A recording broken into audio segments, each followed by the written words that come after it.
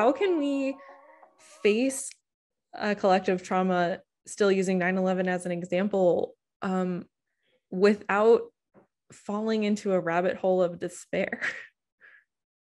Yeah that's really tough. And you know the thing i was actually up on the world trade center in august of 2001 oh my gosh. um and it's like the first time i went as a as a kid that could remember right? And so i remember and i have photos of me with like my cousin who was visiting and my parents and it was particularly terrifying for me when I found out it happened because I had just been there like a few weeks before. Yeah. Um, and so the, the thing about it is that it's really horrible what happened. No one is denying that. It's heartbreaking. It's really unimaginable and unbelievable.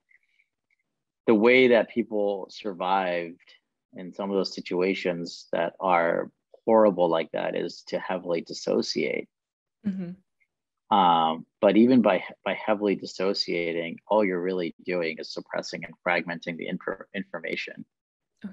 right? And the stimuli. It's not really disappearing, and that actually leads to it continuing to stay within the collective and also within generations. So, how do we continue to process and grief and grieve without falling back into full despair?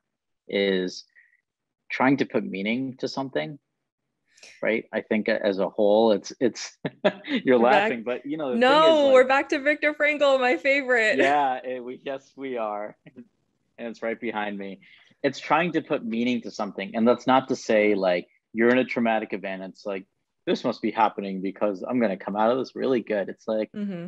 No if you're in a traumatic event you're in a traumatic event and it like it sucks and you can appreciate that it sucks and you can acknowledge that it sucks and be sad and shitty about it.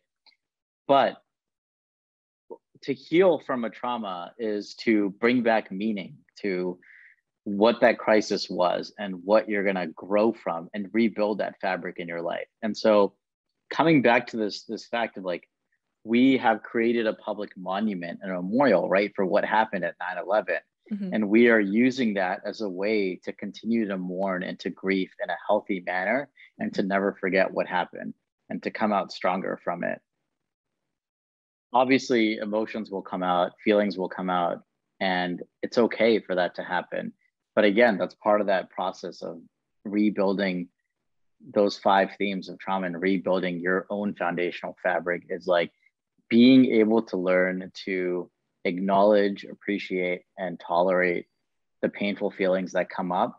Mm-hmm. And over time, they will not impact you as much in a negative way.